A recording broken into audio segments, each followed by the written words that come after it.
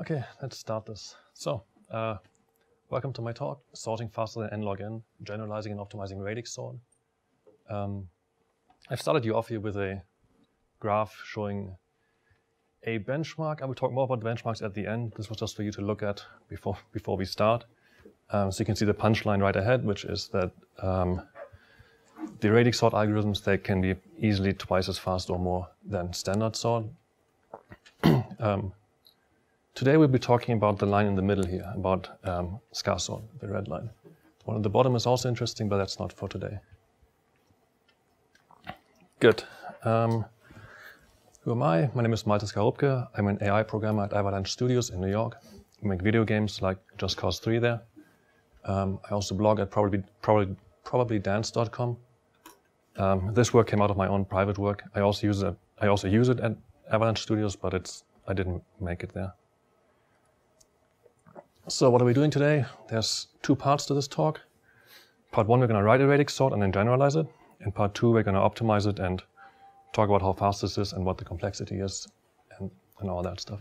And at the end, we'll finish with how you can use this yourself, how you can go home and replace your uses of sorting with um, radix sort. Okay, so when I started, uh, or when I said about giving this talk, I got this quote, which says, uh, radix sort is some pretty well-trod ground. I'm not sure anyone needs to see a talk about it. Uh, so why do I give a talk about radix sort in the year um, 2017? And um, it has a lot to do with uh, this book, From Mathematics to Generic Programming by Alexander Stepanov and Daniel Rose. Uh, I read this book last year, and it has a theme of um, taking algorithms, starting off from a simple algorithm, then generalizing it, and over the years finding new use cases for it, and often from those new use from those new use cases finding improvements for the old algorithms again, and um, yeah, just making simple things more general. So I just read this book when uh, shortly after after reading this book, I finally learned how radix sort works. So that I was kind of already in the mindset of in the mindset of I want to generalize this and make this more widely useful. Um, so I, I try to find a quote in the book that um, illustrates this theme of like revisiting old algorithms and generalizing them and optimizing them or finding new use cases and all that. And the quote that I found was uh, this quote. It says, in this chapter, we saw two examples of how continued exploration of an old algorithm can lead to new insights. Even a classical problem studied by great mathematicians may have a new solution. When someone tells you, for example, that sorting can't be faster than n log n, don't believe them. That statement might not be true for your particular problem. So the story I had in my head might not be quite true because maybe this book just planted the idea straight in my head. Maybe it just came from this paragraph. But um, yeah, basically it tells you you should look at sorting again. So that's that's what I did. What if what if someone tells you com comparison-based sorting cannot be faster than in log n? Um, probably believe them. Yes, yes. That's the, the comment was um, comparison-based sorting cannot be faster than n log n, and that is that is true. Um, the second quote I got about this was um, when I showed my benchmarks to one of my coworkers um, before I posted my blog post and anything, and he said, uh, if these benchmarks were true, we would be radix sorting everything. And this was like the most experienced guy at my company, and he just couldn't believe it. Um, and that is the reason why we're here today, because the benchmarks are true, and I do think that we will be radix sorting much more in the future. I think it will be, yeah, as prevalent or more prevalent as comparison-based sorting. Uh, it can't quite sort everything, but um, the cases that it can sort, I think we were using it. So I kind of want to get a baseline of what you people know. So I want to just have a raise of hand. Who, who has heard of radix sort, at least before coming here? That's everyone except for one. Okay. Uh, who actually knows radix sort? Like, who could tell me how it works? Like, don't actually tell me, just I want to know. Oh, that's far fewer. That's only four. Um, there's one subtlety to this previous point. It can't only sort ints. It can actually sort anything that can provide integers as a sort key. So if you have a, like a struct, then you want to sort, and it has an int member. Then you can sort by that int member. So radix sort is already a little bit more general than just sorting ints. It seems like this point often gets lost because people just think of it as integer sorting, but it can sort anything that you want to sort by ints. Um, there's one more question which I have which is uh, who knows that radix sort has been generalized already to work on floats and strings? That's almost the same people that know radix sort. That's. Hmm? I read your blog Oh, because you read my blog post, yes. Good. Um, that makes sense then. Um, okay, let's build a radix sort. So radix sort is interesting because it doesn't use comparisons. Um, instead, it uses um, well all kinds of tricks: bit shifts, uh, bit mask, point arithmetic. You can be actually can be quite creative when using radix sort. It's kind of fun. Um, in fact, I've given this talk a few times now to practice, and almost every time somebody came up to me afterwards and said, "Hey, you could use this trick to make it even faster." And I think most of people are spot on. So it's kind of fun to, to write a radix sort. Um, but staying in the spirit of the book, we'll start with a simple algorithm and then generalize it step by step. So we start with something that can only sort single bytes. So like say I want to have a, have a thousand bytes, I want to sort them, all the zero bytes in the front and all the one bytes, all the two bytes, etc. Um, good. The algorithm is called counting sort. And uh, when sorting bytes, the idea is that there's only 256 possible values that, that any given byte can have. So what we do is we just count how often does each of these values appear. And we just put this array on the stack of our counts, and we just increment the values in there. We iterate through once, count all the values. And then um, there's a neat trick that I will have to show you in a second, where you can use the counts to directly place each element where it has to go. Um, it'll be clear once I walk through it. So this is kind of the notation I'm going to use throughout the talk. So at the top, I've got my input array. This is what I want to sort, the array 1, 5, 4, 0, and 0. And then below that, I have my counting array. And normally the counting array would be 256 elements wide. It's just for the slides, I kept it at 8 elements wide so that make it easier to follow. Um, good. So what I do is I just count how often does each element appear. So I have a 1, I go to index 1, I increment the count. I have a 5, I go to index 5, I increment the count there. Uh, I have a 4, increment the count. I've got two zeros, so I increment the count in index 0 twice. So we've counted there's two zeros, one 1, one 4, and one 5. Um, the next thing we do is we build a prefix sum out of this count. And the prefix sum tells us up to this point in the array, what do, all, what do all the numbers add up to? So in the first slot, they all add up to zero because there was nothing before this point. But then we add a two to it, so now everything adds up to two. We add a one, everything adds up to three. We add a zero, still three. We add a one, it adds up to four, adds up to five, and everything in this array adds up to five. And we don't need the last value in this case, just as a it just works out even without looking at the last value. Good. And so the trick is now that um, after having the counts and building the prefix sum, um, this prefix sum can tell us directly where to put things. Because we can index into this prefix sum and we can ask how many elements come before me. So if, if I'm like number five and I, I index into here and I see that there's four elements before me, I just put myself at index four. And then I, I will be out of the way of everything that comes before me. Um, I'll walk through it once to make, make it clear how that works. So I shuffle things around a little bit. Input array is now on the top left, prefix sum is on the top right, and I have an output array. So counting sort is a copying sorting algorithm. So it puts the sorted data into a different array than the input um, data. Um, so what we do is we take the 1, we index into the prefix sum, tells us that there's two elements before the 1, so we put it at index 2, and finally we increment the count in the prefix sum. Um, next, we find the 5, which we put at index 4, because that's where it wants to be, and we increment the count. The 4, we index into the prefix sum. There's three elements before it, so we put index 3, increment the count. 0 wants to be index 0, put it there. And this is why we're inc incrementing the count, because the second 0 now wants to be at index 1. Right, so in case there's multiple bytes, a multiple byte with the same value, we have to increment the count in the prefix sum. So this guy wants to be index 1. Um, so just like that, we've sorted this array and it, it, it, we just iterate through the loop through the through the um, content twice. This is what it looks like in code. It's um, well, I'll walk you through it slowly. So at the top we've got our input, which is the uint8 uh, begin end, and uh, I've got a second array, which is my result array. The result array has to be the same size as the input array. I'm not checking for that; it just has to be. Um, so what I do is I initialize my counting array on the stack, just set it all to zero. Then I, then I run through the input array once and just increment the count for every single value, always indexing into the counting array.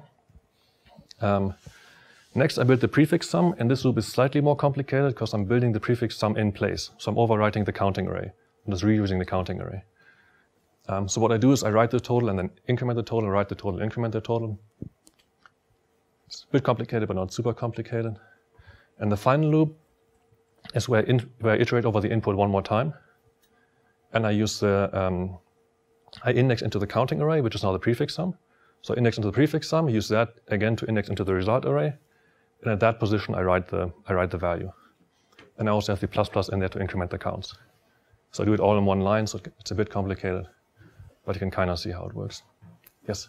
Um, so, uh, if, you, see that we are doing three passes, right? First to uh, calculate the counts, and then hmm. make the prefix sums, and then filling the output area. Um, so three passes, three in. Um, yes, actually, so next slide has complexities. So it's unfortunately hard to see because the comments are a bit dark, but I claim, yeah, so this is O of n, and I say that the first, um, so there's four loops here. The first loop is kind of implicit because we're just initializing memory on the stack, but the first loop is O of 1 because there's always 256 steps. The second loop is O of n because we iterate through ones. The third loop is again O of 1 because um, it's always exactly 256 steps. It doesn't matter um, how many bytes we're sorting. If we're sorting 10 bytes, it's 256 steps. If we're sorting a million bytes, this loop is still 256 steps. So that makes it O of 1. So yes. that means you can only sort numbers from 0 to 256? Yes, we're only sorting bytes at this point. We, will generalize it further later, yes. Yeah, so um, my follow-up question was, why, why are we building the prefix sum? Like, why not we directly populate the output area? Um, from the counts that we have in the first place? Yes. Um, so the question is, why don't we directly um, populate the array from the counts? Why do we have to build the prefix sum? Yeah. Um, it's it's very easy to understand if you if you just wrote this code or if you try to debug it once yourself. Let me think about how to explain it. But the problem is um, we have to, like every time we increment the count, we have to increment the current count and all the values after it if we did, if we were to build it directly. So it would just be more work. Like it, it oh, yes, another comment? Well, when you're just sorting bytes, it actually would be easier just to say, how many zeros do I have? Two, zero, zero. Yeah. yeah.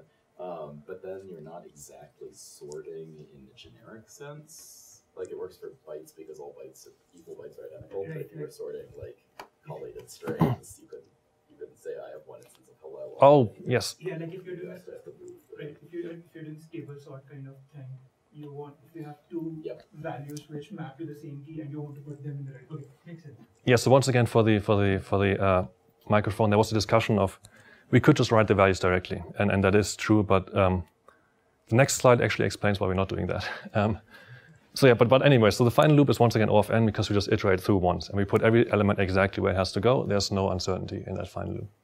Um, okay, so um, also explaining why we can't just write the numbers. Um, we can already make this algorithm a little bit more general because we can, um, we can, this can not only sort bytes, but it can sort anything that provides a byte as a sort key. Um, so if you have like, if you want to have a bunch of I don't know, if, if you want to sort, some, sort something that's only a single byte in size by, by the sort key. Um, the way we do that is we add a bunch of templates, and I'll walk you through it one more time. So I made the input iterators and output iterators um, generic as templates. Um, and I added a final argument which I call extract key. And this extract key, that's a Lambda function, which, or some kind of callable, that um, where the job is to for the given generic value, give me a byte that I can sort your values by. Um, so if I have like say I have a bunch of containers and I want to sort them by length, and I know that none of them are longer than 256, then I could I could return the length in this extract key function. Otherwise, the code is mostly the same. In, in, in this first loop, we now call extract key before we index into the counting array. And same thing in the final loop, we also call extract key before we index into the prefix sum. Otherwise, it's the same loop. Okay. Um, I have one example of how to use this, which is um, I have a vector of strings and I want to sort it by the first character only, because that would fit into a single byte. So I have my input, uh, vector string input, vector string output. I make sure that the output is the same size as the input uh, list, so I can copy into there. And then I call counting sort with begin end in the beginning of the output array. And in my extract key function, I just return the first character in the string. So I'm assuming that all the strings are not empty, but then this would just sort all the characters on the first string. That's kind of how you would use this extract key function. Okay, let's generalize it more. So when generalizing counting sort, there's um, two paths you can go. You can either keep the copy, so keep it as a copying um, algorithm, or you can make it in place and use swaps. And depending on which path you go, you end up with two different radix sorts. One is called the least significant, least significant digit radix sort. Other one is called most significant digit radix sort. Um, they both have different benefits and downsides. Um, the top one is often faster, but it hasn't been generalized yet to work on strings. The bottom one has been generalized. So the bottom one seems like a better candidate to, um, to, to make a fully general algorithm out of. And the other reason is that we want to probably use swaps because we want a replacement for standard sort. And standard sort's in place, so we want to have a swapping algorithm. So in this talk, I only talk about the um, swapping radix sort. The other one's also interesting, but that's too much for, the, for one talk. So let's just try swapping. Um, so what if we just run the previous algorithm, but now we swap everything into place instead of um, copying to a different array? So uh, this time I, I, want, I want to swap, swap, the number one into place. So I index into the prefix sum, where I find the number two. So it wants to be at index two. So I swap it with that, and then I increment the count in the prefix sum. I move on, I find the number five, which wants to be at index four, according to the prefix sum. So I swap it in place and increment the count in the prefix sum. Now I find a 1, which wants to be at index 3. So I swap it and increment the count. Now I find number 1 again, and this doesn't look right anymore, because now the number 1 wants to be index 4. So we swap it into place and increment the count. Find number 1 again, it wants to be index 5 now, so now we're indexing out of bounds. So clearly we just can't just um, replace the copying with a swap, that doesn't work. But luckily for us, this is already a solved problem, and it's a solved problem in an algorithm called American flag sort. And the name is a bit strange, so I'll explain the name first. Um, so there's this is algorithm called standard partition, which takes a bunch of, which takes a list of, in this case, black and white elements, and it puts all the black elements in the front, all the white elements in the back. Or you could take like numbers, all the even numbers in the beginning, all the odd numbers at the end. It's generic, you can provide your own predicate. Now there was a so-called Dutch, Dutch flag problem, which was named by Edgar Dijkstra. So he named it after his country's flag, which is what if I want to sort, swap, uh, what if I want to um, call partition, but I want to put it, put it in three different sections. So I want to put all the red ones at first, and all the white ones, and all the blue ones. Um, and you still want to do that in linear time. You still just want to go through the array once. And then, so there was the uh, further problem with what's, what's the American flag problem, which is what if I have many stripes on my flag, and I want to partition into many different stripes.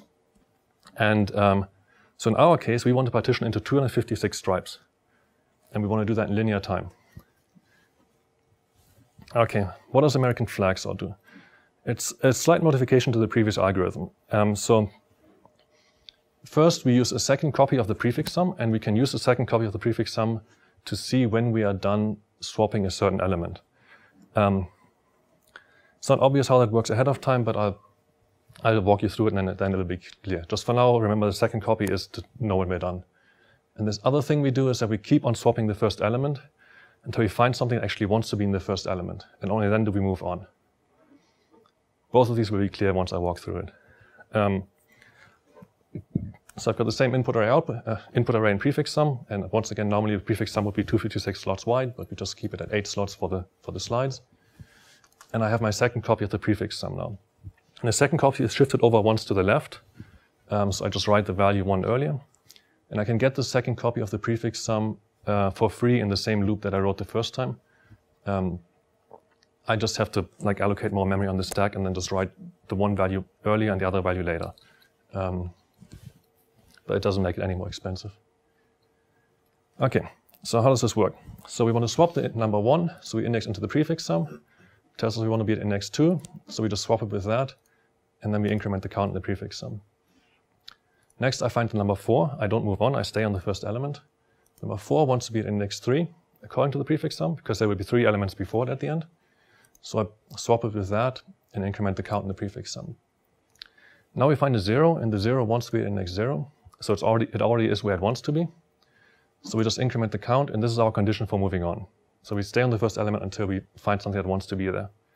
Actually find the five, which wants to be in index four, swap it, and then increment the count. The zero is already where it wants to be. We just increment the count and move on. And now the one, what we find now in the prefix sum is we find two values that are the same in these two copies of the prefix sum. And that tells us that we're already done swapping all the ones into place. So we can just skip over this guy and move on. Same thing for the 4, it's already done because the two values are the same. And same thing for the 5, the values are the same. So like this, we sort this array. Okay. So let's generalize this. Um, so I've made this table of all the primitive types that we have. And um, I've highlighted the uint8 because so far we can sort U and 8s. And we're going to fill this whole table out and, and sort everything in here. So we can sort U and 8s. There's a few other types that are nearby that should be easy to sort, which are the other types that are only one byte in size. Um, and so looking at the first one of those, it's the int8_t. Um, we can't just use that right away because for a signed int, there might be negative numbers in there. So um, if we use that to index into our array, we would index out of range. But actually, an audience question, does anyone know how we would sort int 8s? Just thinking about it briefly. Reinterpret cast? Reinterpret cast, Yes, that works. Then that's the better solution. Yes, so the reinterpret cast, it works, but it puts them in the wrong order. Because then all the negative numbers have a really high value, and um, and um, they would they wouldn't sort before the positive numbers. So the solution is we add 128, as was mentioned over there. So uh, yeah, we reinterpret cast and then add 128. That keeps them in the right order, but we just shift everything over. So all the negative numbers now are in the positive range. You can use them to index into the counting sum. Or you take a pointer to 128 elements into the. Yes. That is that is the thing I haven't tried yet. But that, that, that was also like the, the comment was we can also just move the pointer up so that the point the base pointer is at 128 elements into the array, and then all the offsets would be would work out. Um, that's one of those clever tricks about radix sort that I mentioned at the beginning that I want to try. I haven't tried it yet. Could you explain that to me? Um, yes. So um, the question is, could I explain that? So, um, well, do I want to? Because I'm also Oh, not super loose on time. But let me. talk- We can talk. Yes. But the idea would be that um, so instead of indexing it into the array normally, we just put a pointer that's at index um, 128 into the array. Right? So we just put the pointer right in the middle of the array. And then when we use the int8_t to index into it, we might get negative indices, but the negative indices would totally be fine in that case because they're still indexing into the array. Because our pointer starts in the middle, if we get a negative index, it would would still fall within the valid range, and they would still all be in the right order. Okay, uh, next type, the char is even easier. We just cast uint8. We don't have to do anything else. This gives us the same sorting order that standard sort gives us, and that's what I wanted in this case. And the bool is actually even easier. We just use standard partition. So you can imagine like you have to kind of write templates for this to figure out, oh, if the extract key function returns a uint8, I have to do the normal thing. Otherwise, I have to like do this casting and add uint8. You need to check that char is signed first. It might not be. Yes, the comment is we have to check whether char is signed. Um, that is correct. I didn't check on my platforms. Um, it actually, Static assert. yes, static assert we do for that. Uh, is, is the comment. Um. But yeah, for booleans we have to do something else entirely. So you kind of have to like construct your code a little bit cleverly, but that then you have it. Um, after that, after our the one byte types, the next easiest type is the uint16 because it's unsigned and unsigned are easier, and it's just one byte more. And it shouldn't be that hard to sort one byte more. So here's a bunch of uh, UN16s I want to sort. I've got the numbers 100, 1000, 10, 1, and 10,000, and I want to sort this array. And to help with the solution, I'm going to also put what they look like in bytes. So number 100 has 0 in the first byte and 0x64 in the second byte. Number 1000 has 3 in the first byte and 0xe8 in the second byte, and so on. So can anyone tell me, just based on this, how we can sort this 2-byte uint16? You sort the first, First most byte significant separate. bytes first. Yes, okay, we just sort in two passes, first byte and then second byte. So we just use an extract key function. We provide s- if an extract key function that only returns the upper byte of this uh, uint16 in the first pass. So then as far as the, this algorithm knows, it's just sorting these numbers and swapping them back and forth. Okay, um, that's pretty straightforward. So I just sorted it. Now we end up with the array 100, 1, 10, 1000, and 10,000. So small numbers are still in the wrong range, but the big numbers are in the right uh, order. So um, now we can't, after sorting on the first byte, we can't just sort on the second byte, because what would happen now is that the, um, for example, this 10,000 has a pretty low value in the second byte, so it would be shuffled back to the front. Um, but what we, what we also have is we have this side array on the stack, which is our finished prefix sum. And this tells us um, that there was three values with the number zero in the first byte. And then the, uh, the and, and the numbers um, with three in the first byte, they go from index three to index four. Like wherever this value differs, we can we know that there's a new range that starts here of values that has the same byte. Like if there was multiple values with three in the first byte, then the, the jump there would be bigger. So what we do is we sort within the subranges that um, end at each of these index indices. And then we use the second byte as a sort key. So we just recurse down into the subsection, we sort that on the second byte, and then we go back out. And the other ones we don't actually have to sort on the second byte because there's only one element in those subranges. Um, but if there were more, we would also have to recurse down there and, and also sort those. Is that actually faster than just sorting in the other order? Start with the low order byte and the high order byte? Um, the question is, is it faster than sorting in the other order? It's sorting on the low order byte and then the high order byte? Right, because then, that, then it just falls out naturally, right? Yes, so that is the other radix sort. That's, that, that one is the, um, the, that is the copying radix sort. Like that one, I don't think anyone has figured out how to make that one in place yet. Um, because It's just, you just do this, and then you just do this again. Oh no, yes. So no, yes. So the um, the comment is we, we why don't we just do the same thing in the other radix sort? So the problem with um, I'm not sure if I can illustrate that based on this, but the the um, the least significant digit radix sort relies on the fact that every single pass is a stable sort, and this is not a stable sort. Um, and so we cannot use the same trick that the least significant digit radix sort uses. Um, so and to make it a stable sort, we have to make it copying.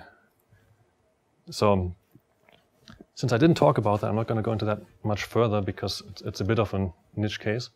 But um, nobody has figured out how to, how to do that yet in place. Okay, so now we support the uint16, and then there's other easy nearby types, which are the other types that are two bytes in size, int16 and char16. And those we just do the same tricks that we did for the one byte types. We just reinterpret cast and add an offset for the assigned one, and for the char, we just cast a uint16. Okay, and um, using the same trick of sorting on the first byte and then recursing into the section we all have the same value of the first byte, and then sorting those on the second byte, and recursing down and sorting on the third byte, we can actually just do all of these. So all of these we just sort one byte at a time, all the integer types. Um, and the same thing also works for the pointers, we just sort one byte at a time. So that leaves these types, floats and doubles. And they are more complicated because they have different bit patterns. Their bit patterns are more complicated. They don't have as easy of meaning as the, as the integer types. Um, so let's look at what a float looks like. A float has um, one sign bit, 8 bits for the exponent, and 23 bits for the mantissa. And if I draw in the lines for where each byte ends, there isn't like a nice subdivision there. There's like, it's like slightly off. Can anyone tell me based on this how to sort floats? Just based on this one picture. Shifted is the comment. Um, that's correct, but let me drink something. Yeah, so the comment is shifted, and that, that um, totally works. So what we would do is we would first sort on the sign bit, call standard partition on the sign bit, put all the negative numbers first, then shift everything over by one bit to the left, and then sort one byte at a time. Um, that works, but that's five passes over the data. And somebody called uh, Michael Herf has figured out how to do this in four passes. And for that, we have to look at how what these actually mean. Um, so what I tried is I kept the mantissa the same and changed the exponent bit. So the last 23 bits are the same, the gray bits are the same. And every time I change the exponent bits, the number doubles. That's how floating point numbers work. And then also I tried keeping the same exponent and changing the mantissa. And for this, I think I changed the third bit in the mantissa, so I changed the bit that's pretty high up. So the change is pretty big. Um, but the, the, the, key point to take away from here is that changing the mantissa always stays within the range of two of these values in the exponent. We can never overflow into the next range. In fact, we would have to overflow the mantissa. If you, if, if, if you were to overflow the mantissa, then we would go into the next um, and go into the exponent, and then we would go to value two. Um, wouldn't you get the negative numbers in reverse order? The question is, wouldn't I get the negative numbers in reverse order? That is correct. You're like two slides ahead of me. Uh, that's um, that's good. Yes, but anyway, so the point, the, the thing to take away from this is that um, all the important bits are already on the left and all the unimportant bits are already on the right. Because the exponent bits are strictly more important than the mantissa bits. And so based on that, we could um, just sort one byte at a time. Or maybe we can. Um, and that actually works for positive floats. Um, and the first problem, the first problem we run into is that uh, negative floats would come after positive floats, but they need to come before positive floats. Because negative floats would have the highest bit set in the sign bit, and um, that would make them a very high unsigned, uh, would, make them, would, would make them count as a very high numbers. So the solution for that is we just flip the sign bit. And the second problem is what uh, Igor said, is that uh, negative floats would sort in the wrong direction. And the solution for that is we just flip all the bits. Um, so for positive floats, we flip the sign bit. For negative floats, we flip all bits. You can kind of imagine doing this in your extract key function, figuring out, like, is the sign bit set? If yes, flip all the bits, otherwise flip only the one bit. Um, and then after that, return the byte that you're currently sorting on. Otherwise, this is just sorting one byte at a time. So floats work, and doubles work the same way. We just sort one byte at a time, and we flip the sign bit of positive doubles and flip all bits of negative doubles. Okay, I'm going to grow this table a little bit and add uh, containers. I've got two different rows here. I've got my random access all-out containers, and I've got my uh, not random access all-out containers. And what I mean when I say I want to sort uh, containers, I want to have something like this, like a vector of vectors. So the nested type is the container type. Okay, so the easiest type out of this is if I want to sort a vector of strings. How do I sort a vector of strings? Audience question. It's not a trick question. It's if you think you know it. And strings are arbitrary length. Yes. Strings are arbitrary length, yeah. Well, this is where doing it most significant byte first also makes it a lot easier if you have to do at least significant byte first. Yes, the comment is the most significant, most significant digit radix sort makes it a lot easier. Yeah, because we just do the same as everything else. We just sort one byte at a time, right? Or in this case, one char at a time. As I said earlier, the char does reinterpret cast to and 8, so it ends up being, so it's just one byte at a time. Okay, this is a good point because we've reached the point where this is what radix sort could do as of last year before I worked on this. Um, so Boost spread sort can sort these types. It can sort integers, floats, and strings. So let's generalize this all the way. Um, so I've got these other containers like vector, deque, array. So let's say I have a vector, vector of ints. How do I sort that? Not a trick question.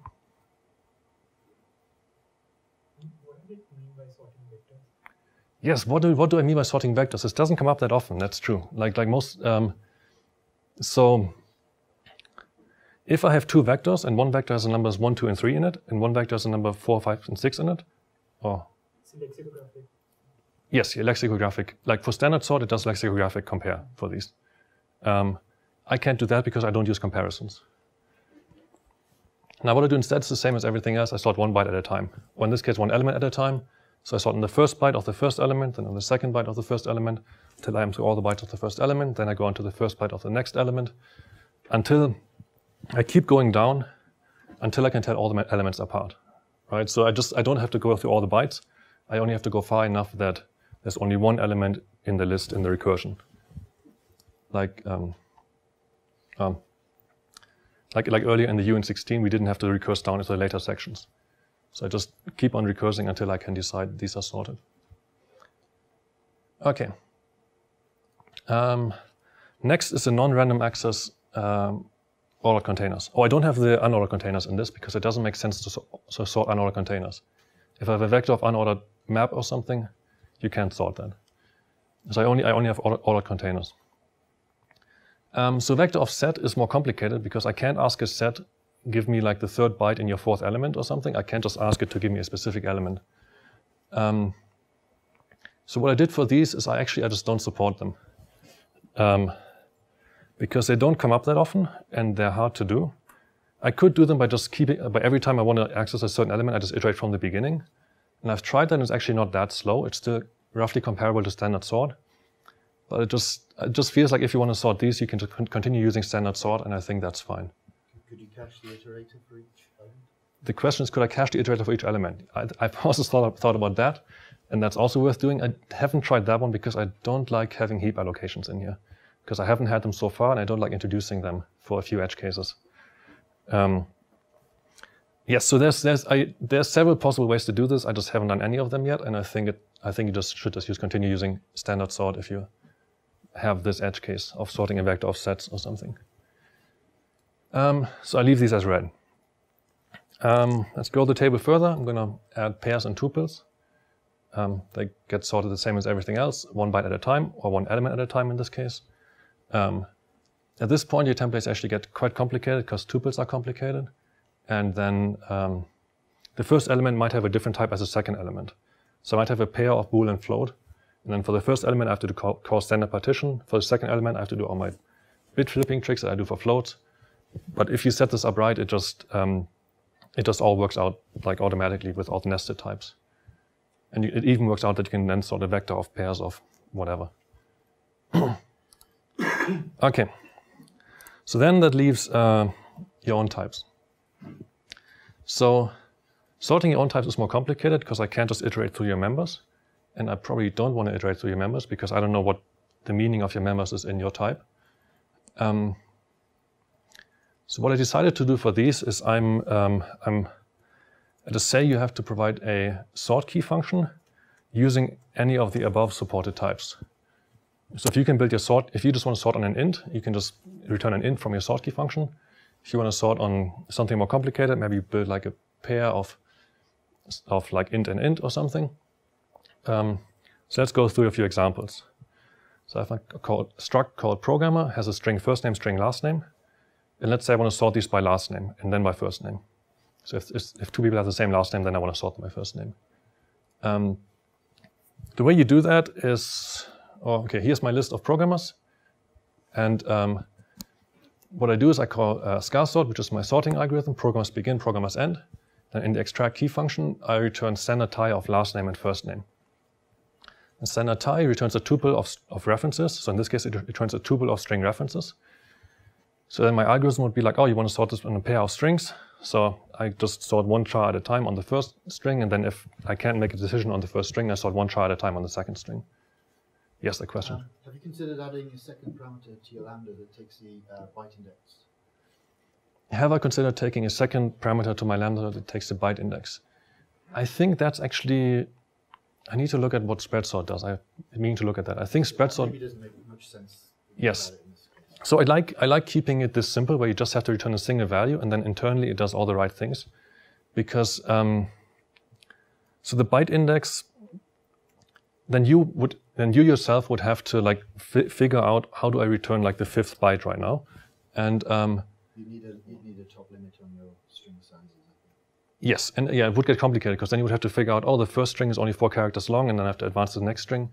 I do all that internally correctly um, automatically, and you don't want I, so I didn't want to expose that complexity of figuring out which is actually the the, the byte and which bit flipping tricks do I have to do and all that stuff. Uh, I have another example. This is something I was actually doing at the time at work. I have a bunch of enemies. I want to sort them by distance to player, but I want all the ones that are in combat with player to come first, sorted by distance. All the ones that are not in combat come, to come later, also sorted by distance. So the way you do that is you call once again ska sort, enemies begin, enemies end. And then the extract key function, I return make tuple of is in combat with player and distance to player. So that will sort first on whether or not they're in combat, and then within the range where there's the same value, it will sort on distance to player. In this case, I return make tuple instead of tie because, um, well, last time I returned, I did standard tie because I wanted to return references because they were strings and it's expensive to copy strings. And make this is just sorting bools and floats, so it's cheaper to return um, them by value. And the other reason is that the boolean here is actually a temporary because I flipped the boolean, so I can't um, I can't return it by reference. Just yes, question. Myself, uh, the third parameter to the ska sort is the uh, key extract function? Yes, yeah, the last argument is the last parameter is, is the extract key function. Or actually, this is like one level above the extract key function, because then my algorithm looks at your provided lambda and builds all the necessary extract key functions out of that. okay. So I claim like that I can support your types. Uh, because if you can build a sort key out of the above types, you can build anything, is what I claim. Because once you have tuples and pairs and you can nest them arbitrarily deep and all that, uh, you can build anything out of that. So that's actually the end of generalizing.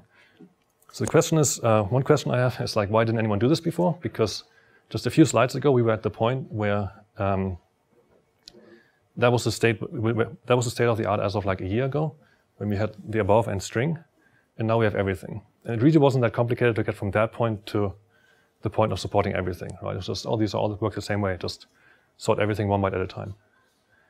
Um, so my answer for that has a lot to do with this book, because this book already put me in the right mindset when I read it. So I was already thinking, oh, this I want to generalize something, and then this radix sort came along, and I finally learned how radix sort works. So I already was like, oh, how, how far could I take this? And the answers then came pretty clear, came pretty quickly because I was in the right mindset. But the other thing to take from this book is that um, these things also just take a lot of time. Um, so in this book, they talk about algorithms that were invented like hundreds of years ago. Like say an algorithm was invented 1400 something, and then it was revisited and generalized in 1500 something.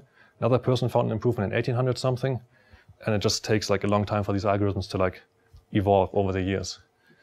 So I think it's also totally fine for the previous people who worked on this, like the people who made it support floats, for example, to say that they only add the support for floats and then they move on and work on whatever else, whatever else they want to work on. So it's, it's fine to just do like the one thing and then move on. Okay, that was the end of part one. Actually doing pretty fast on time.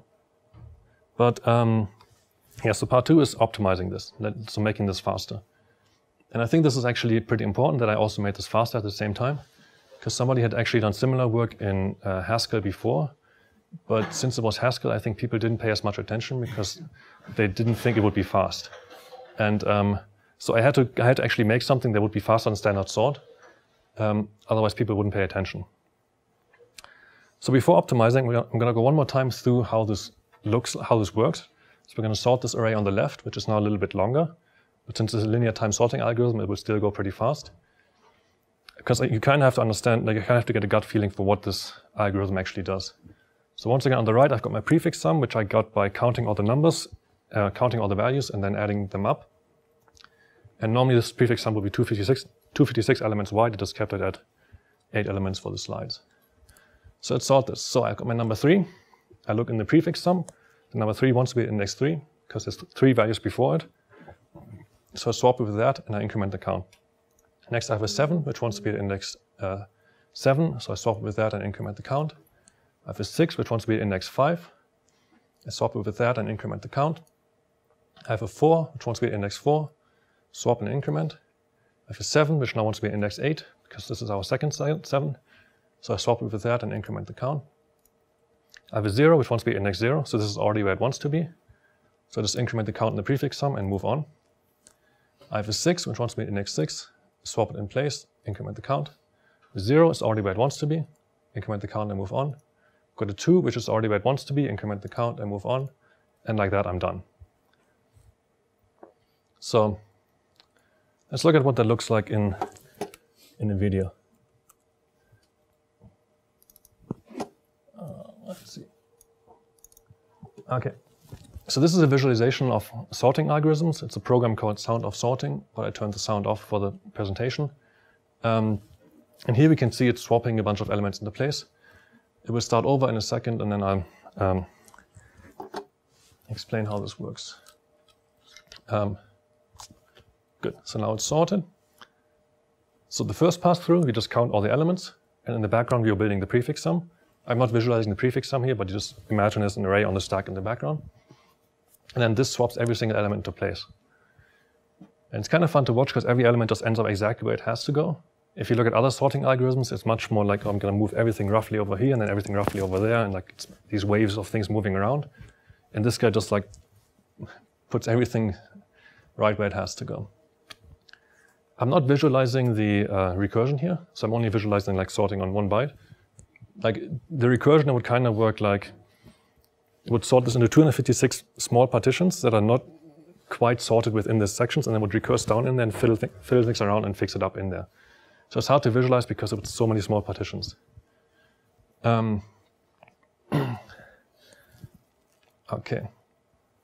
The other thing to take away from this is that the red element, the element that we want to swap, it rarely moves on from the beginning of the array. It always stays like, like it has to find something that already wants to be in that slot, and it's pretty unlikely that it finds something that wants to be in that slot. It still swaps everything else into place, but it, it just always usually stays in the beginning. And that would be important for um, optimizing the fact that it keeps on swapping the same element. Yeah, and oftentimes by the time that it moves on, the array is already mostly sorted. So I let this one finish, and then I go back to the presentation. All right. Let me find my mouse. Okay, so where's the spending time? I'm going to show you some disassembly. Um, I don't expect you to read it. I expect I, am going to walk you through it slowly and show you what what everything means. Um, okay, so this is the um, inner loop of, well, this is the output of a program called perf, which you use to profile things in Linux, and um, this is the inner loop of of, of the sorting algorithm. Um, so it's a pretty small inner loop. It's just 15 instructions here. And most of these instructions are pretty cheap. They're just moving like bits around and like doing some address calculations. Um, what's important is the lines in red. The lines in red is where this is spending most time. Um, and what all of these lines in red have in common is that they're all pointer fetches. So what does it mean if all my slow operations are pointer fetches? Cache miss. That's also what I thought, and it's actually not a cache miss in this case. And uh, it does lead you in the right direction if you go that way, but um, this algorithm is actually really friendly towards the cache because um, what I have is I've got my, my prefix sum on the stack, which is like, um, I think it's two kilobytes in size, and my L1 cache is 64K. Um, so that easily fits. Then I've got my swapping elements, which um, the left one's always in the cache because I mostly stay on the same element. And the other one, so if I'm sorting a long array, like say a million uh, ints or something, then um, you might think that you will get a lot of cache misses going into all those random places where you're swapping things back and forth. But there's actually only 256 possible points for me to swap into. So in those, after the first few swaps, all those 256 possible points will all be in the cache. So there's actually, I actually almost get no cache misses here. Uh, instead, the problem here is that all these depend on each other. And um, if you remember when I walked through it, I always had to go from the left to the right, from the right to the left, and always jump back and forth.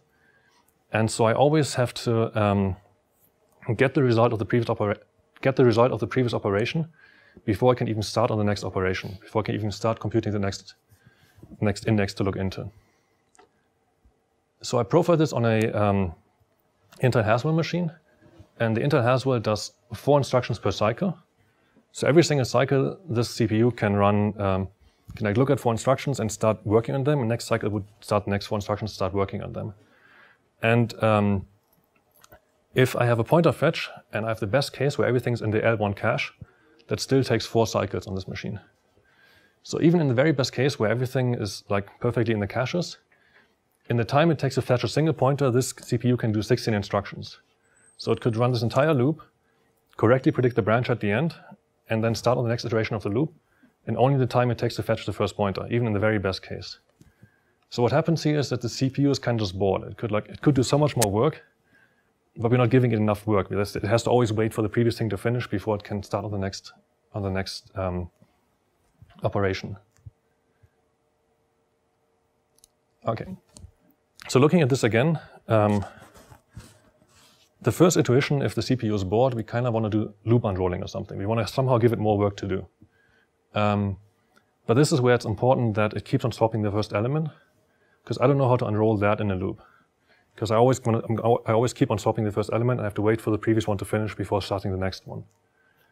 So what I kind of want is I want to say that after swapping the first one into place, I want to swap, I want to swap the second one into place. Because if I just iterate through the loop, then I could unroll that, and then I could advance all the way through and um, do more things in parallel. We tried that earlier and it didn't work. Remember, if I just walked through, I would eventually index over the end. But what I didn't have at that time is I didn't have the second copy of the uh, prefix sum.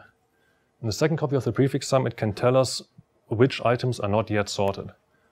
So, so far we've used it to tell us which items are finished, but we can also use it to tell us which items are not yet finished. So the intuition, well, after looking at this for a while, you realize that what you want to do is instead of iterating over the one on the left, you want to iterate over the loop on the on the right. And what I'm um, I'm going to show you first, I'm going to walk through it once and just show you what the access pattern of this would, would be like if I iterate over the one on the right. I'm not going to do any swapping the first time around, just showing, the, just showing you how this, how this works. So for this first element, I'm going to iterate from index 0 to 2 on the left array. So I'm going to iterate over these two values. For the next one, I don't have to do anything because it's already finished. For this one, I only have to iterate, over one element, so over that 2. For this one also over the 7, I iterate over one element. Um, for this one, I don't do anything. For this one, I iterate from index 5 to 7, so that one and that one. And for this one, I iterate from index 7 to 9, this one and this one. So let's look at what that looks like if I also do the swapping. So first, I want to swap this 3 into place. So I look on the right, the 3 wants to be index 3. So I swap with the 7 and increment the count in the prefix sum. Now I move on to the next element. I find the number 6, which wants to be index 5. So I swap it into place and increment the count. Now I move on. And um, this is the 2, which is already where it wants to be. So I just increment the count and move on. The um, Now I iterate from index 4 to 5, which is just this one number. 7 wants to be index 7. I swap it and increment the count. Next I have the 6, which wants, uh, I, I, iterate at index 6, where, where I find a 0, which wants to be at index 0. So I swap it into place and increment the count. I um, at index 8, I find another 0, wants to be at index 1 now, because I incremented the count already. Swap it into place and increment the count. At this, one, at this point, we've gone through the array, and it's almost sorted, but it's not quite sorted, because there's a 4 at the end that shouldn't be there. Um, the good thing for us is we're still in a valid state, because the array on the right-hand side still tells us which items are not yet finished. So what we do is when we get to the end, we just start from the beginning. And what I actually do in the real algorithm is I keep all the ones that are um, not yet finished, I keep them on the left, and all the ones that are finished, I put them on the right in this prefix sum. So I shuffle them around, so I don't have to iterate over all the finished ones again and again. But I didn't visualize that here because it makes it too complicated to follow. So we just start from the beginning, only going over the ones that are not yet finished. So iteration 4 to 5, find the 6, it wants to be in index 6, swap it, increment the count. Find the 4, it wants to be in index 4, swap it and increment the count. We start from the beginning, there's only one element left. It's already where it wants to be, just increment the count, and we're done sorting. so that's what this looks like, what this, what this works like. Um, and I claim that this has correctly cut the dependencies between the, the, all the instructions, because now if you look at the first two swaps, they're all accessing different elements. Um, and so the CPU can start on the second, on the second, second iteration before it has even finished the first iteration. And so this is instruction level parallelism. If, if we ran this across multiple CPUs, these guys would stomp all over each other because there's plenty of cases where they do access the, where they do access the same elements. But since it's within the CPU, um, it can correctly see, oh, there's a dependency here. In that case, I just have to wait. And if there's no dependency, I'm just going to run ahead and keep doing more operations. Could you parallelize on the second byte? Could I parallelize on the second byte? I cannot because I first have to sort everything that has the same value on the first byte. I first have to sort all those together. And only once all those are in the same range, then can I start recursing into the second byte. But, but then you have a set of ranges. Oh, yes, yes, that, that's a good point, yes. So once I have done the first pass, I could do all the recursive calls on the second byte. I could do all those in parallel. Yes, that is correct. Also, is there um, a particular reason why you swap the elements uh, while you're sorting, rather than um, maybe take a temporary uh, move a value into that, keep hold of it until it's um, in the right position? Um, the question is, why do I swap and not like store it in temporary place until I find the right slot for it? Um, the reason why I don't do that is that I haven't tried it. I, I just, uh, this is pretty fast, so I haven't, it might make sense, but this is also, so I'm only showing you the path that actually works, but there's plenty of paths that you can go down here that don't work. And I'm not yet sure if your path is, it would be one of those where you accidentally end up indexing over the end or something. So I'm not, I'm not yet sure if that, it might work, it might, and it might be worth trying. This one's, I, I think uh, like um, uh, quick sort Mm. can do that. Instead of just swap, swap, swap, Mm. it holds onto one value until it's in the right place and then it drops it back down, shifting, moving other values as it goes. You actually don't need swap to do quick sort.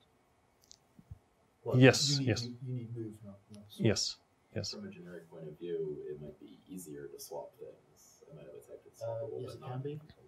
But but then you- you're you're you're swapping the you're doing um you're moving two values around uh, uh, in the heap a lot rather than just one with each operation. Yes, I'm just saying it might be a Yes.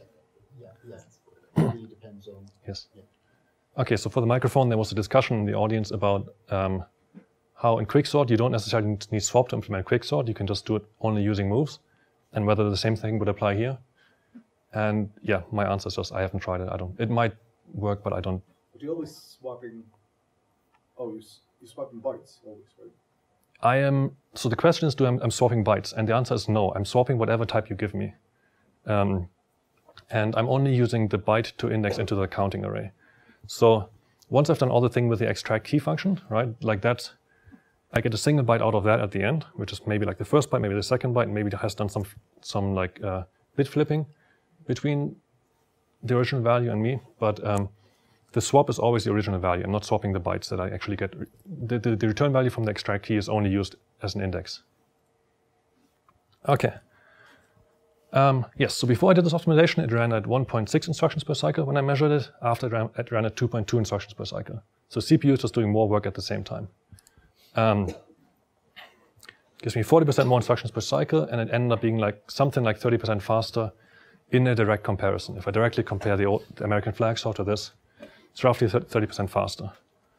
So it's not quite the full speed up that you would expect, but that's because this new algorithm actually has slightly more work, because I have to jump back and forth one more time.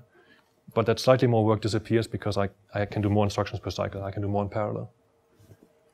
Okay, let's look at that video too. Okay, I think that's it. Okay, so this is um, what the new algorithm look looks like. And um, so the first pass was the same. We just count how often each value appears. And now the active element, the one that we're swapping, it goes through the array. We iterate through the array. Then we go through the array a second time, faster this time, because we're skipping all the ones that are already finished. Then faster again, and then it's finished. Let's look at it a second time. So the first pass through, we just count and build a prefix sum in the background. And second pass through, we're swapping all the red elements into place with the blue one always. Um, first time through, we just swap all of these. Second time through, we skip all the ones that are already finished. Third time through, we go even faster, and we um, so we do a few passes to the, through the array, but it usually finishes pretty pretty fast.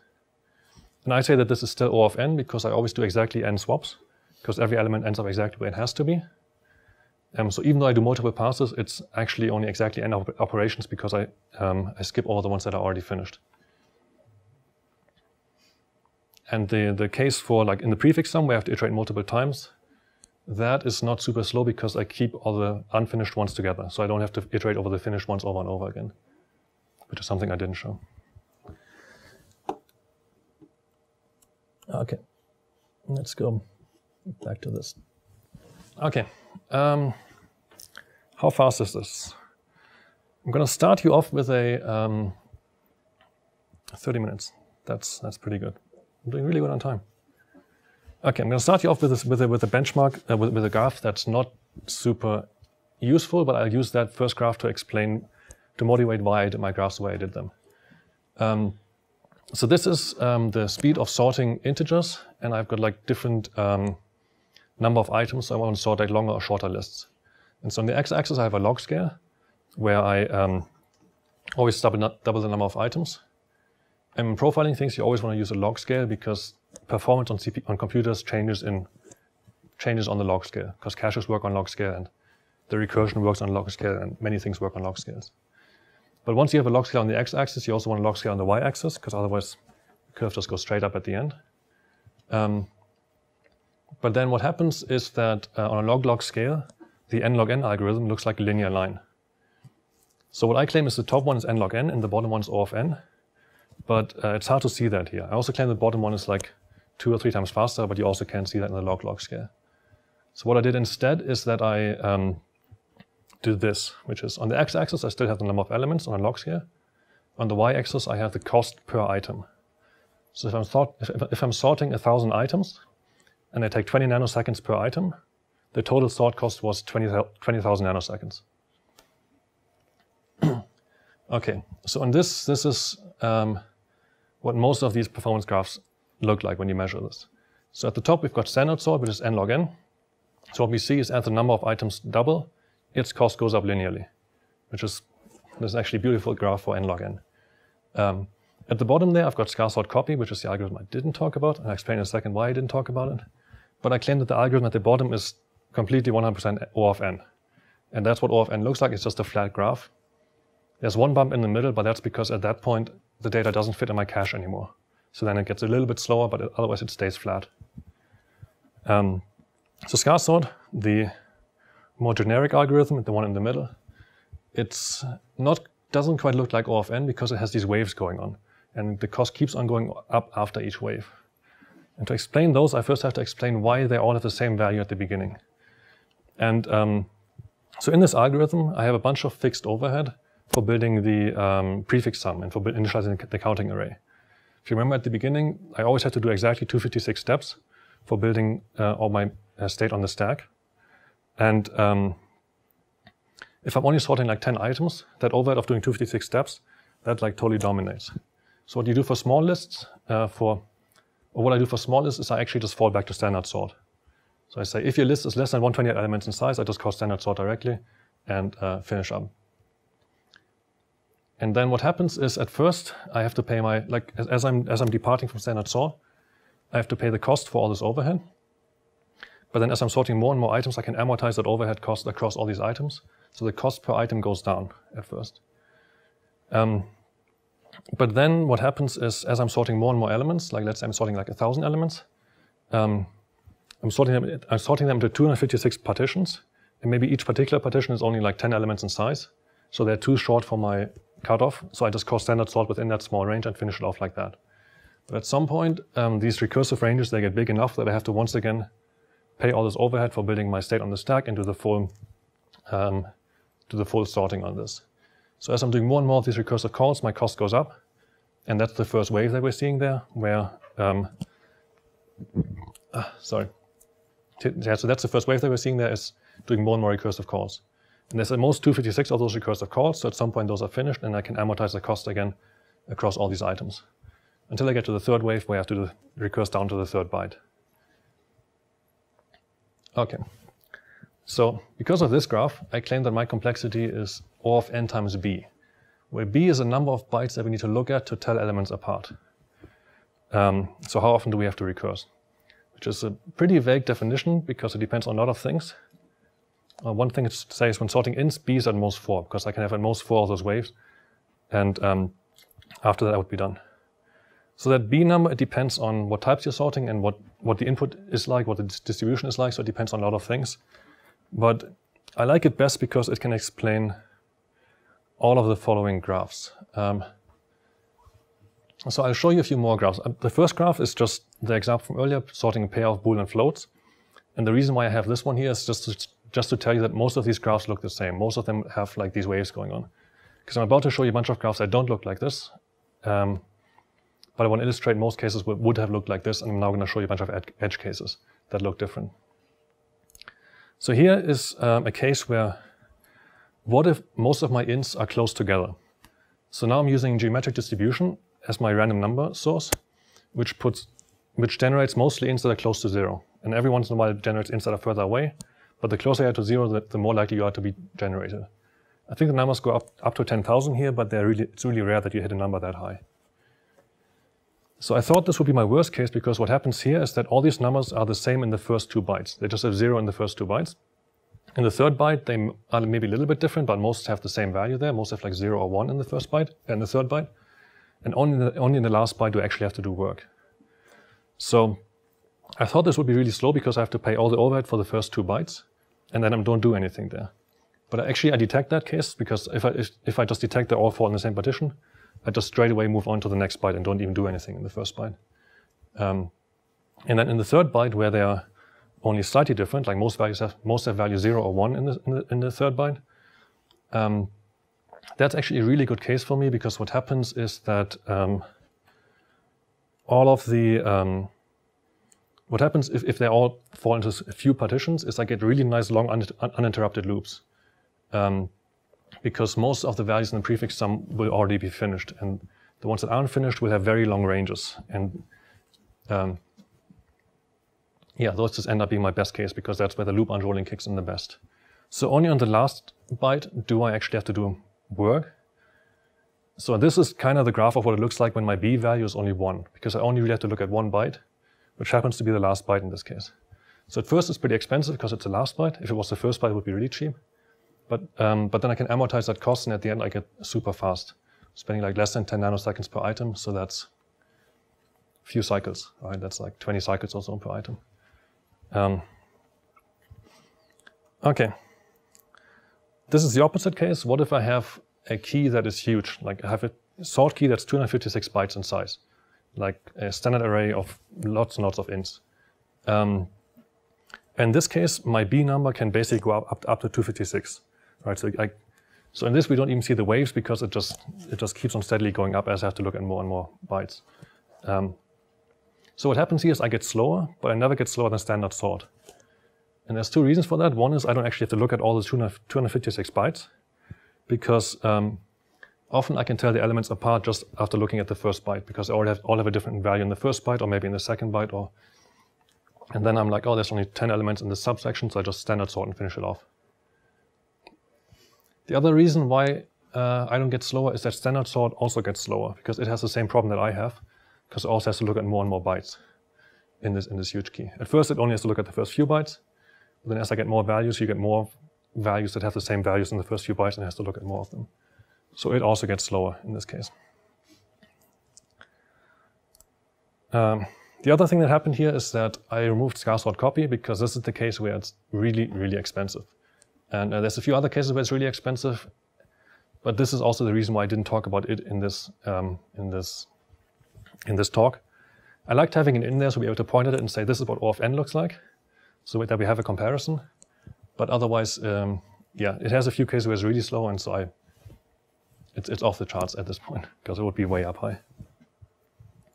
Okay, uh, here's a case of what if I have a huge struct. This is just like a 1k struct.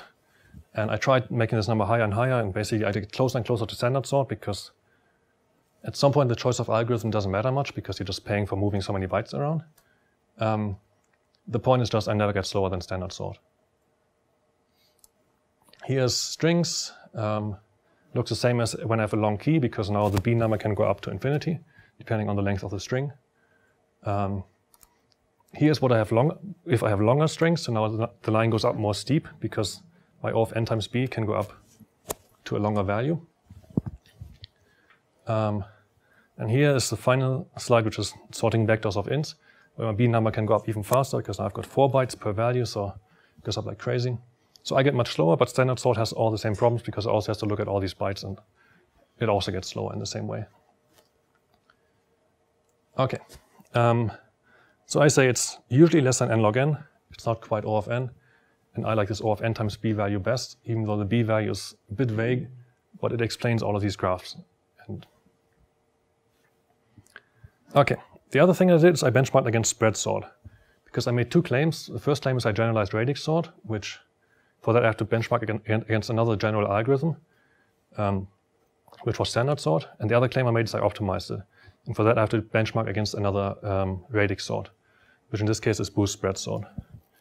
Um, so boost spread sort can't run most of the previous benchmarks, but it can sort ints, floats, and strings. So I did those benchmarks. So when sorting ints, I'm usually faster except for that one case in the middle there. And uh, what happens there is that spread sort doesn't sort one byte at a time, but it sorts like one and a half bytes or like 11, 12 bits at a time, roughly. Um, so what so what happens there is that its waves have a different size than my waves have. So I, I, it, I, just get unlucky there where I hit the top of one of my waves as I hit the bottom of one of its waves. Um, otherwise, I'm mostly faster if I didn't have that one bad luck case. Um, sorting floats looks similar. I'm faster, even though not by as much. Um, also depends on the random numbers here that I put in here. There's less range in those numbers, but that's just, yeah, random. Um, finally, sorting strings. And this one, I'm actually slightly slower than spread sort, um, which is a bit embarrassing, but it's um, The reason for that is that they did. Um, they have a few more optimizations than I have. I could do all the same optimizations. It's just that since they can only sort strings, they did a few string-specific optimizations. Um, like they they assume contiguous memory, for example, which I don't. Um, and so I could solve this by putting a specialization into my algorithm for standard strings specifically. I just haven't done that yet. Um, so for now, I'm kind of the same speed, but slightly slower than spread sort for sorting strings. But I'm still faster than standard sort. Yes, question? What is the string length differences? Um, the string length, I believe for this one, um, what I did is I, um, I went to my etc words list, so I, and then I just picked a bunch of random words, and I think I picked between like five and ten random words, um, and then I just built a huge array of those like five to ten random words, and I sort that huge array. I think that's that's that's what I sorted here. So the strings are, I don't know, between 20 and 100 characters long, I think. Yeah. Something like that. For me, it's common common case. Uh, I sort pretty much same length strings. Hmm. Uh, Ten characters, twenty characters. Yes. If you know, if yes, so the comment is, um, somebody has has a common case where all the strings are the same length. In that case, you can actually use the other algorithm, the copying sorting algorithm, if you know the length ahead of time. But that's, yeah, that's that's too much for this talk. But um, yeah, so I cannot take advantage of that, but other algorithms can take advantage of that, of knowing the length ahead of time. Okay. Um, final section is um, real world performance and how do you use this yourself? Like how can you go home and, and use this? Um, so this is where I actually used this algorithm at my work and measured how long do how much did I improve things by using this algorithm. Um, so I have kind of complicated cases because if you just want to sort by an int or if you just want to sort by a string, that's tri- trivial. You just return that from your sort key. So I, I'm showing a few cases where it's more complicated. So you can believe me that this can also handle complicated cases. So here's something where I wanted to sort something called a data lookup, and it has this sort info struct, and we're getting the key and masking off some bits and returning the, the pure key, which has the bits masked off. And we're comparing by that. This is what it looks like in standard sort. This is what the comparison function looks like. Um, in ska sort, this actually simplifies slightly because um, I only have to return one key. I don't have to do the comparison. So I just return the key with the bits masked off. And then internally it does all the right things. And it, because it knows this is a uint32 and it does all the right things. Okay. Uh, so I ran a few, I just did some measurements in our game, like few cases where we had to run this. And so on average, it's like something like 20 to 40% faster. Depends on the length of the list. And so if you remember all the benchmarks, like the, the we're more on the left side of those benchmarks, where the difference between standard sort and ska sort is not as big yet. And you can also see these are like pretty fast ones, like measured in microseconds. But that's what I got here. Another case is um, good. I'm back on time. Uh, another case is this is this is another complicated case where I have a generic comparison algorithm because I want to sort two different lists by the same in the same order, and then iterate through them in parallel later. And so, who can tell me what this does, what this sorting algorithm does, or what this comparison returns?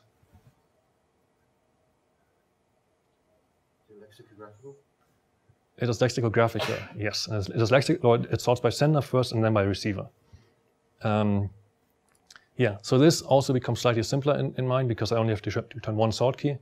I return make pair of sender ID, receiver ID. That puts them in the right order, and like it, it's also easier to read now because you know I'm sorting by this first and then by that. Could you not use tie there? The question is, could I not use tie? I could totally use tie here. Um, it happens that these are just integers, so returning them by reference would just make this slower, but I could totally use tie here, yes. And I think because ska sort is stable, right? It is not stable. So the question was, is, is this stable? And this is not um, a stable algorithm. Hmm? Sorry, it didn't fix that bug with this if sorting it with a non-stable sort. sorry, I, I didn't, I didn't quite catch that. Presumably the, the goal of the code here was to sort the senders and receivers and still have them match up. Yes, yes, but Since it's not stable. yes, no, but this was never stable, right? Yeah, so we, we, we want to have them both match up. So we want we can iterate through them in parallel, right? So we can iterate through both at the same time, and always get the matching value in the other array. Um, but it doesn't have to be stable to do that to to to to get them in the same order. You just have to like provide enough information in our sort key to get them in the order we want. Good. Um, here is how long that takes. I just ran one benchmark a few times. Um, and this is so almost twice as fast. So we're more than we're more towards the right of those benchmarks, the difference gets bigger. And you can also see this now takes longer. And so my speed up gets bigger. Um, good. That brings me to my conclusion slide, where I first tell you that you should keep learning new algorithms, because I only learned radix sort last year, and it's kind of fun to work on them. Keep trying to find improvements for them, and if you find an improvement, write about it. I hear all the time how people like knew about improvements for a long time but never told anyone. What kind of people just doing ad hoc things. Um, for performance, the conclusion is should write code so that the CPU can do more than one thing in parallel. So you get more instruction level parallelism. This only gets more important. Like as I said, my, my CPU can run four instructions in parallel. The new AMD Ryzen com computers are running five instructions, five instructions in parallel. So it's kind of what Moore's law does to us nowadays. Like that's that's where they spend the transistors. It's like so we have to take advantage of that. And the final conclusion is you should use you should use this. Uh, cool. Thanks. That's my talk.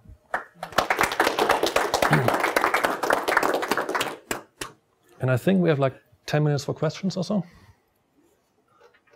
I'll say this. Yes. So how do you determine when to fall back on um, std sort? Is it the same for all cases? It is.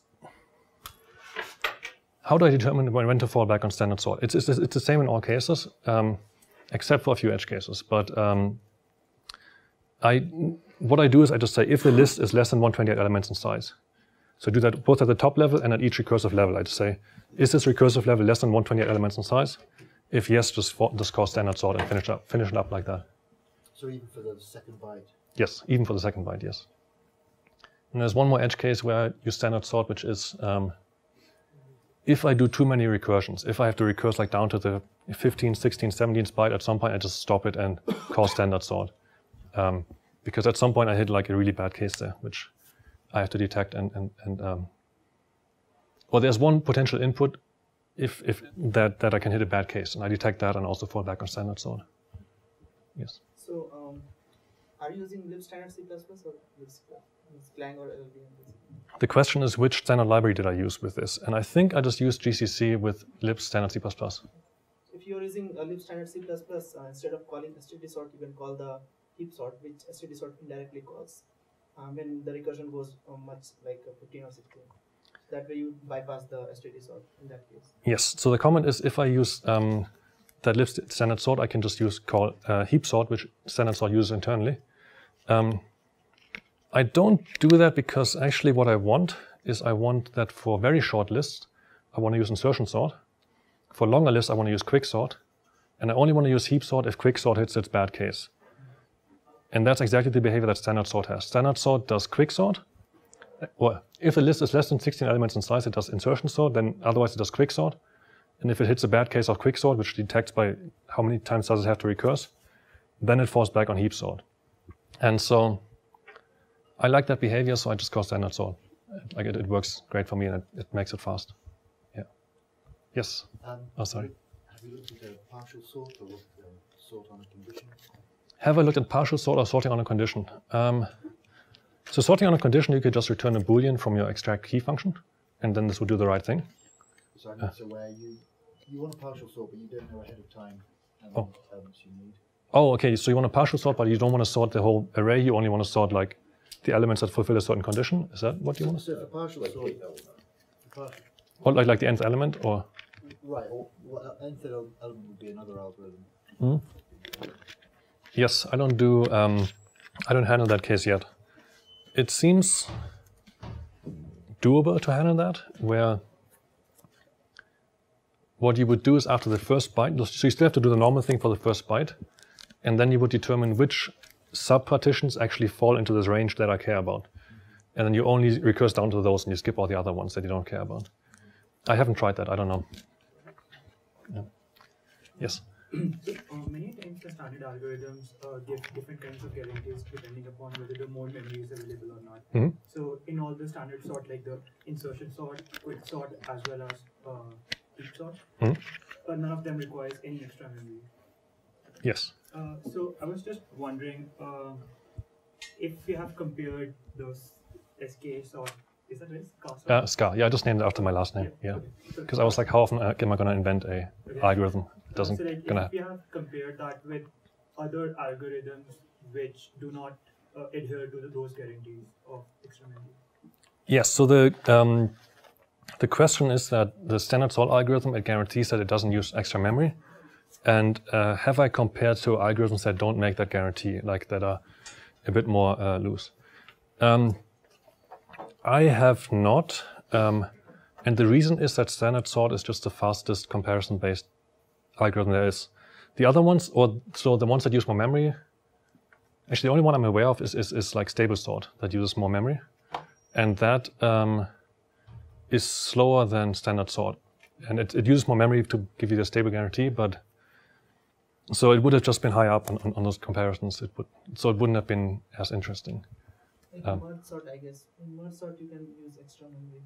Yes, yeah, merge, merge sort is, is stable sort. Yes, yes, So the, the reason I'm saying is that many times, like if you're just looking at the sorting application in isolation, Hmm. then using extra memory is not a problem. But actually, you gave the real world examples as well. Like if I'm using the this algorithm in my uh, application, Hmm. I have now a problem that this might evict the cache lines which were important for other things that I was going to do. yes, So, so yes, in the in the real world application, uh, like I would have to add this to my application and then profile further, which, which, which you sort of did with Yes. two examples. yes. So the comment is um, this in the real world or in a real, application, you would sometimes worry about how much extra memory it uses because then it evicts all your cache lines and all that stuff. And this algorithm will certainly do that because I allocate a lot of memory on the stack. And especially if I recurse down into multiple bytes, I can allocate like 8k, 10k bytes on the stack. Um, I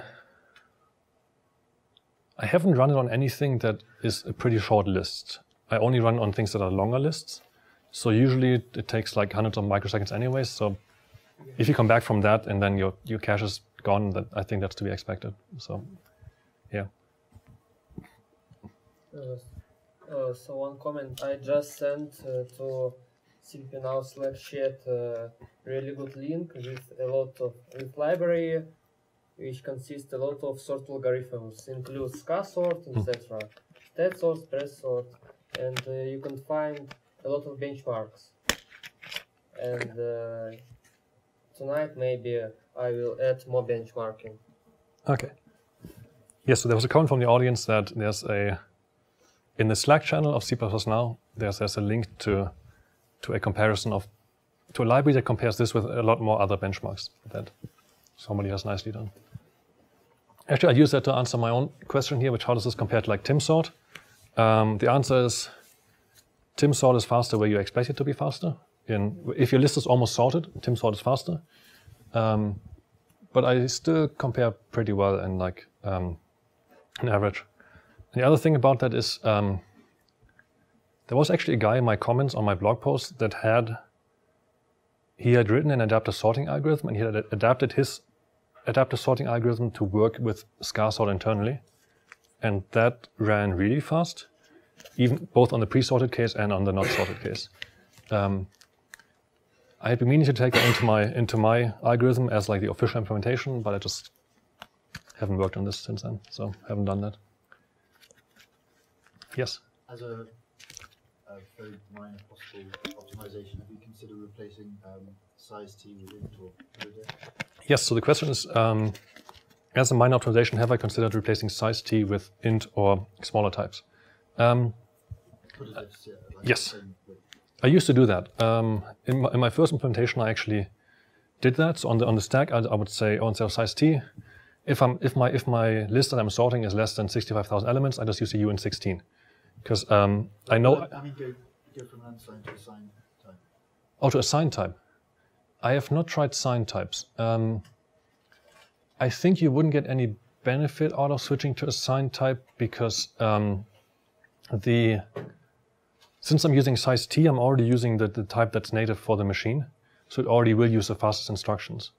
Like the only benefit you get from um, necessarily. not necessarily. There's um, signed types often have more um, optimization possibilities.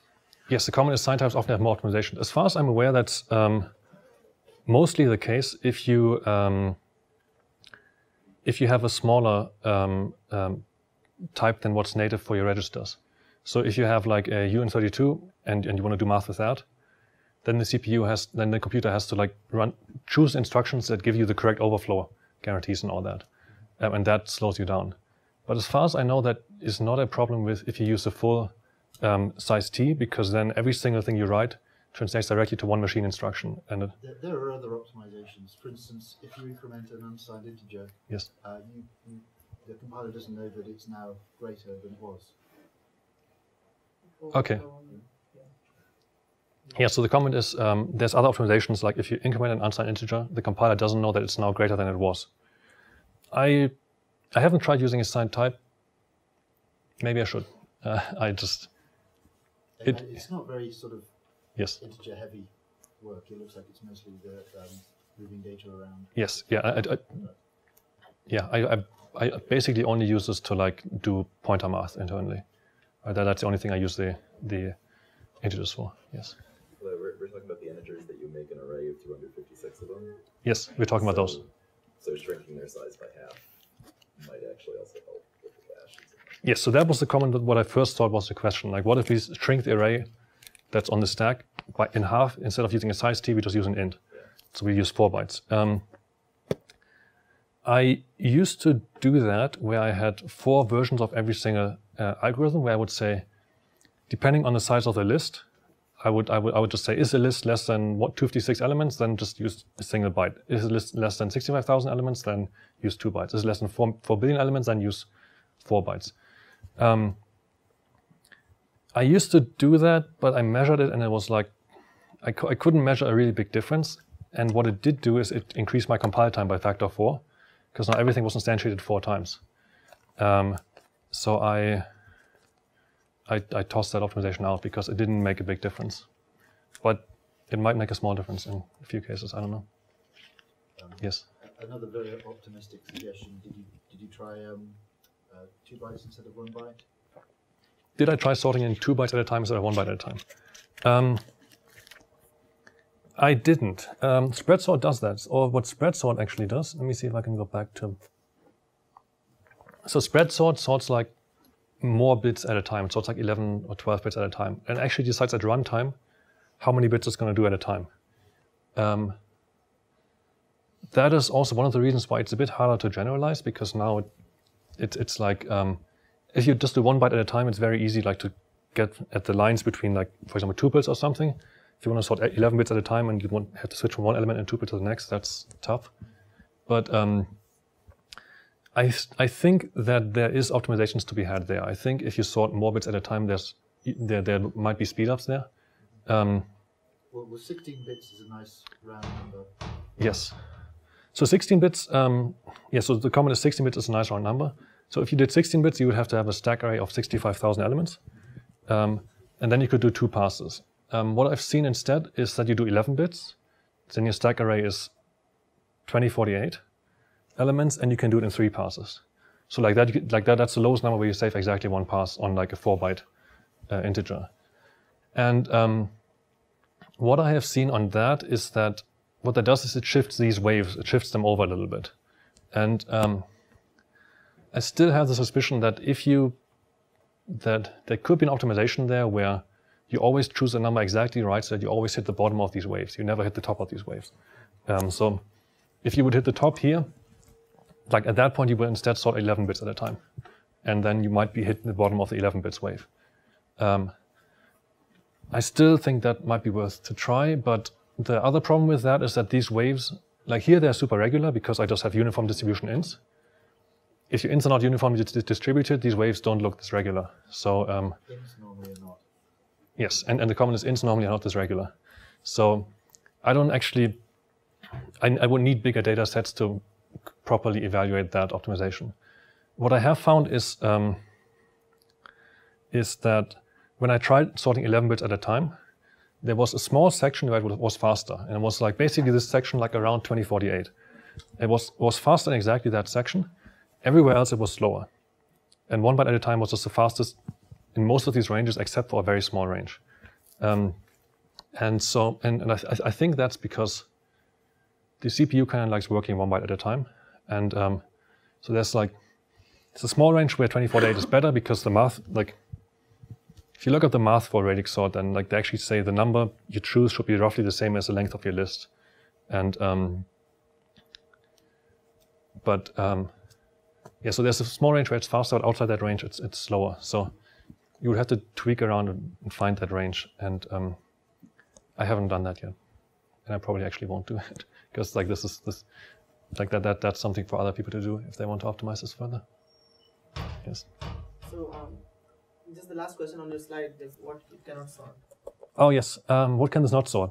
So there's a few. Oops, that's one too far. Unordered set. yes, unordered set, but nothing. No, no, sort. never mind. I cannot go to that slide. There we go. No, that's my bear. I like that bear. I don't know. I can't go to that slide for some reason. There we go. Um, what can this not sort? So um, the yeah, I know unordered set obviously, but standard sort also can sort those. Um, I can sort the non-random access containers, right? So if you have one of those, I can sort that. The other big case I can sort is um, Unicode strings or anything, any string sorting algorithm where you want to have uh, other than the trivial one. So if you have like, um, so I don't support case insensitive sorting. Like, so if you want to sort strings, but you don't care about the case, I don't support that. I think that particular one is somewhat easy to support because I could change my extract key function to just do the do the casing, but I don't do that yet. Uh, well, the reason why I don't do that yet is because I was looking for a good customization point to offer up that would allow people to just say, "Oh, I want um, I want case insensitive case insensitive sorting," but I never found that good customization point, so I don't support it. Um, but yeah, so most cases are if you don't have random if you don't have random access, or when sorting strings, there's a few cases that I, well, there's a few very common cases I don't support, and for those you have to continue using standard sort. Yes, another comment. Or, I mean, thinking of it in the generic programming sense, uh, thing that you could sort with a comparison-based sort, but doesn't have a sort field, so you can't use this to sort rationals. Right? Because rationals, you'd always know which one is if A is less than B or vice versa, and yet there's no like well ordered on, on that. sort field. Yes, the other comment. They're not lexicographical.